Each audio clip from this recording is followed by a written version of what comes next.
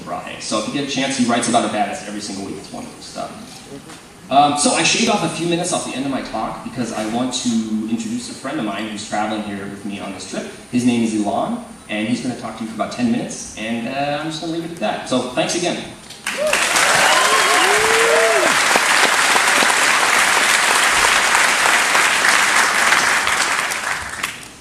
Hey guys.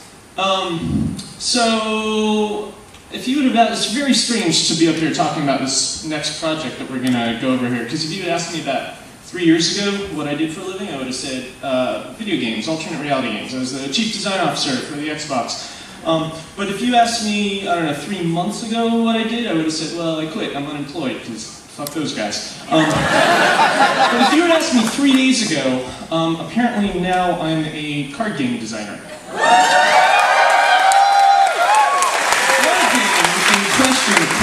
Is called Bomb Squad. Now, stay with me. Um, so I designed this card game with a friend of mine, uh, Shane, and we're really proud of it, and it was really cool, and we took it to Matt, and we said, hey, check out our game, and he played it with us, and at the end of the game, he said, I love this, I really want to join your team, guys, I want to illustrate all your cards for you, but I have one condition. Um, we got to change that stupid name um, because the internet.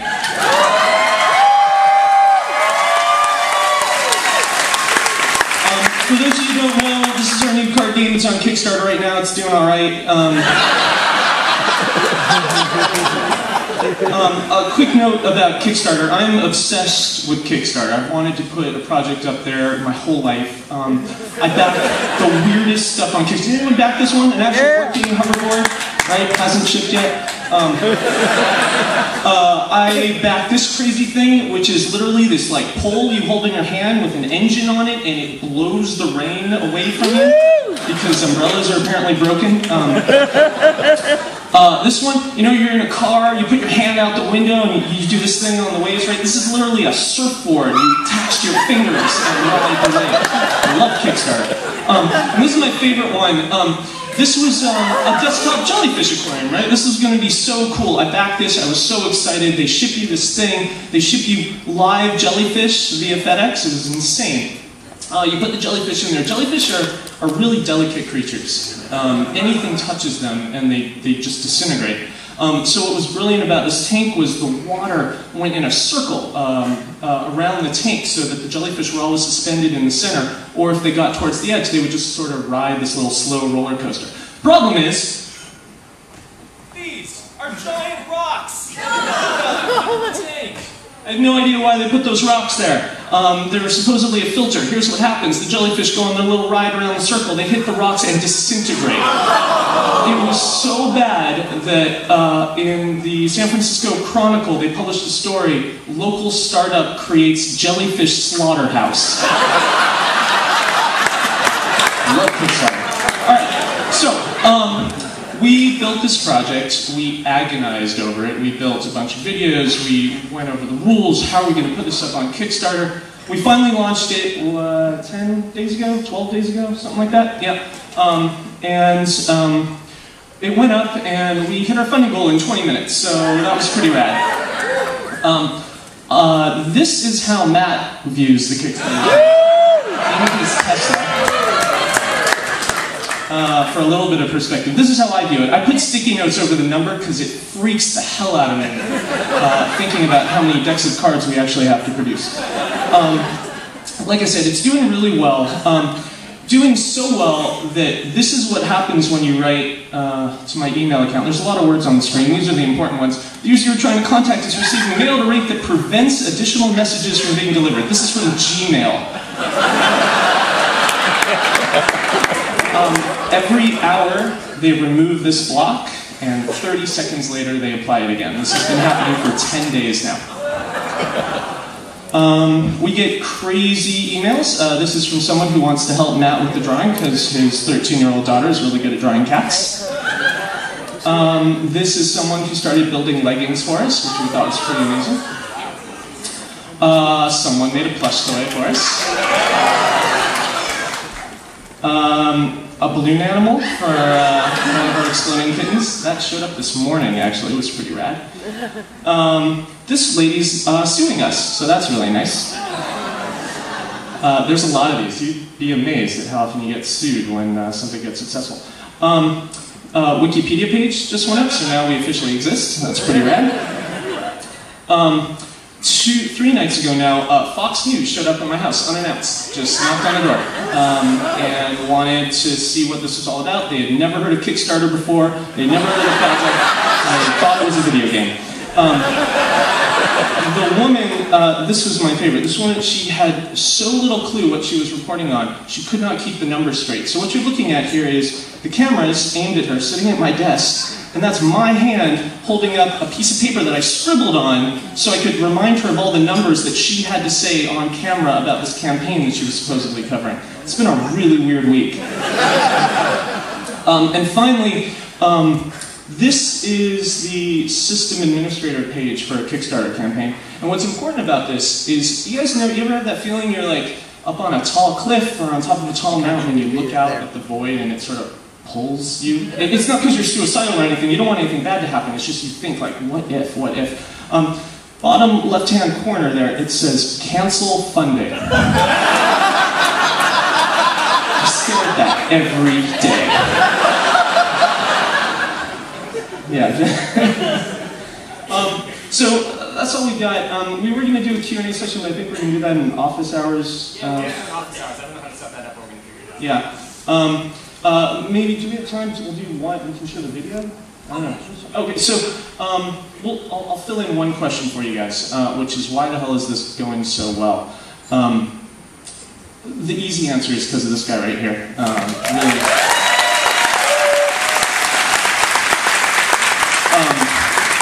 The, the, the, second answer, though, which uh, is really important, is we agonized over this. I mean, every word on that page, every frame of the video, how much should it cost, what should the reward tiers be? We learned a lot about Kickstarter, and if anyone wants to talk about uh, that stuff, we've got a lot to say.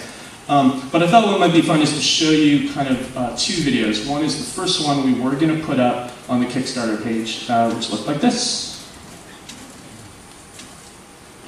We need audio on the computer, please.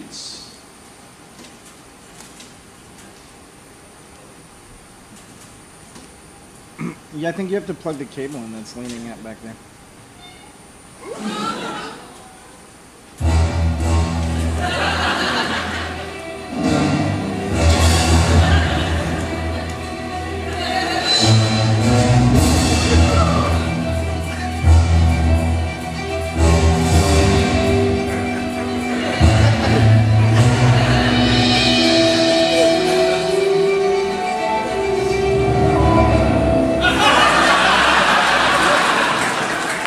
That was version one. We sent it out to a lot of friends and collected a lot of feedback and uh, changed it a bunch of, a bunch of times. And uh, I'll show you the final video that's up there now just because uh, it's fun to see the difference.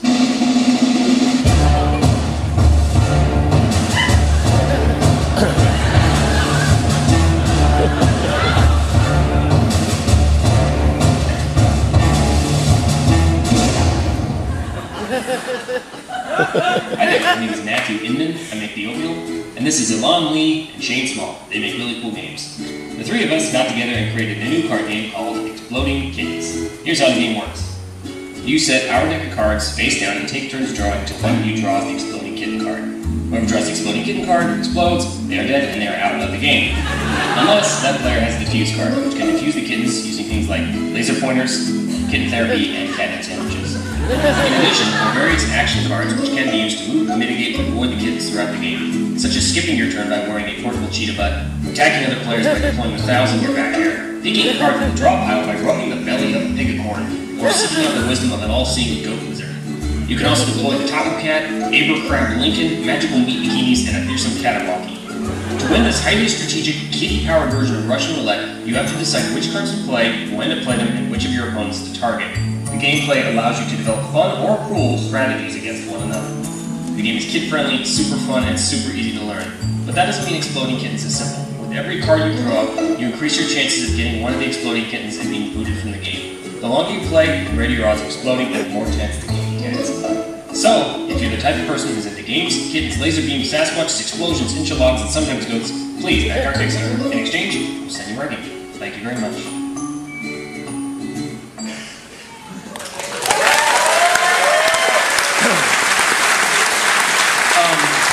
Basically it. We got a bunch of decks here. Uh, we'll have them out in the game room and wandering around, so stop us if you ever want to play. And uh, thanks a lot, guys. Thanks,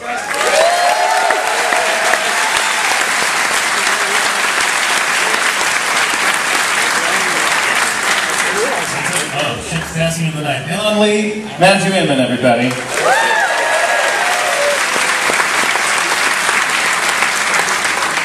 Uh, everybody stay in your seats. There's not going to be an intermission today. So if you have to pee, just do it where, where you are.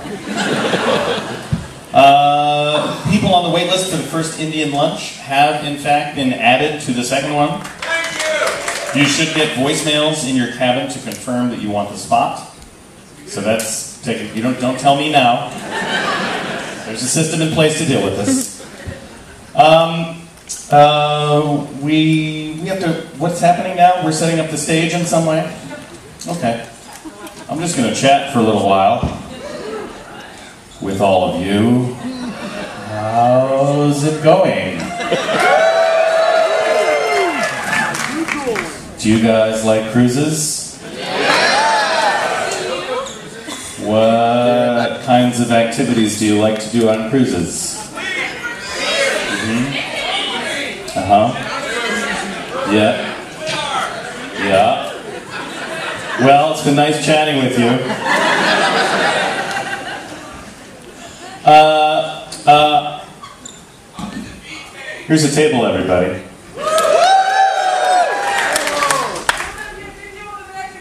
About how long is the setup going to take? Do we know? I just don't. I just don't want to know if I should do my long material or my short material. Right now, I'm doing zero material. Oh, good. Paul's going to do a couple of announcements, everybody. So we told.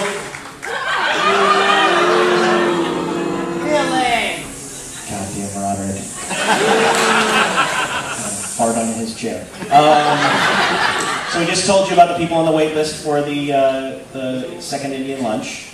Should be confirmed. They will make sure you get in touch with them to confirm that you are going to go to the second one. Uh, a couple of office hours announcements. There was a misprint in the original Sea Monkey. The Thursday Cloud 9 8 p.m. office hours that are listed for Keith Baker are actually going to be uh, Chris Pramas. Is he here? Take a bow, Chris. There he is. Am I pronouncing your word correctly or am I botching it? Yay, for once, yes. Yeah, screw you too. and tomorrow afternoon, uh, the John Scalzi Opus Moreschi 4 till 5 o'clock event, uh, yet to be named, that is happening in the Labyrinth, is now going to include 100% more Merlin Mann and John Roderick in it. And then immediately following that event, however long it runs, they will retire to office hours to a bar of their choosing. I am recommending the Schooner Bar because it is right outside the upstairs of the labyrinth and also because it is nautically themed. And I think they'll have fun with that. Those are my two announcements.